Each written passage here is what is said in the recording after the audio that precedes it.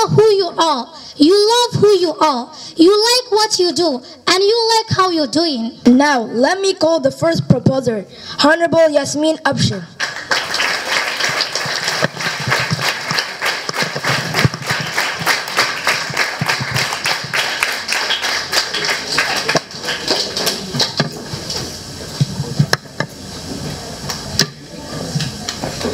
Thanks to the chairperson, the secretary, timekeeper, our lovely chief judge, plus you, the audience. I stand before you to support the motion which already stated on the whiteboard. Should media platforms be banned? Absolutely yes. It should be banned. Beforehand, I would like to clarify the key words. The definition of media platforms in simple meaning is Media is the main way that a large number of people receive information and entertainment. For example, television, newspapers, internet, and radios. Platform is an opportunity or place for people to express their opinions publicly or make progress, progress in a particular area. We, pro- we proposers, we are going to talk about the following points. The highlights. Separation of families, wastage of time, cause healthy problems, destruction of future youth, failing exams, laziness, confusion, fast coverage, learning bad habits, cyberbullying, heartbreak, easy spread of wrong information, scammer, increased crime rates, selfishness, promotion of exam practice, replacement of teacher jobs, family neglection, lower self-esteem, bond, love disappointment, culture deviation, dating applications. Me, as Yasmin, I will be talking about the following three, while colleagues will explain others. First view, scammers.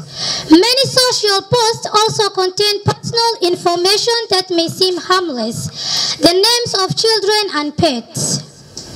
a Sport, a favorite sports team or a birthday, but this detail can help a hacker guess your password or answer common security questions. Hackers also know that people tend to reuse password across accounts. Once password, they will try on multiple popular websites from your bank account your email to see if it works. Second point, dating applications. The biggest disadvantage of these apps is dishonest. You see, they are often individuals who fake their jobs, personality, or, they, or their even existence in totality. Easy to fake identity and get genuine people to believe on. May you give me two more minutes, please?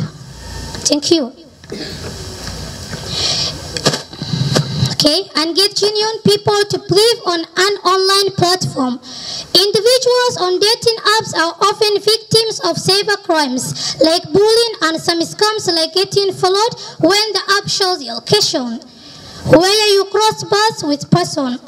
Thirdly, and last point, lower self-esteem. The biggest achievement in life is when you know who you are, you love who you are, you like what you do, and you like how you're doing.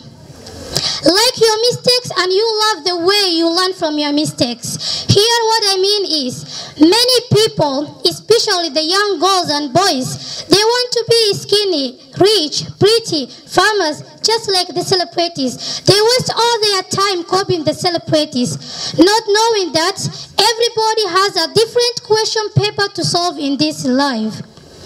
In conclusion, I would like to my fellow boys and girls, let us all focus on our, our education. Let us all run after our dreams. Social media is just distraction. Thanks a lot for listening.